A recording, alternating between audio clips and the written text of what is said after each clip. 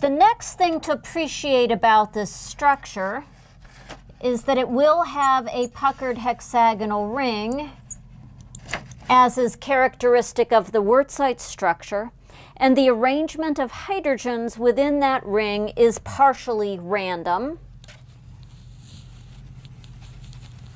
They pack in a staggered herringbone fashion that looks like this. So one of these molecules edge on looks like this line. The next one is rotated with respect to the first, etc. And they're going to do this so that we can maximize the density of the material. So let's just imagine how one iron atom might influence the alignment of the spins on the next iron atom. So I will start and I will choose arbitrarily that that atom has a net spin of four Bohr magnetons in the up direction.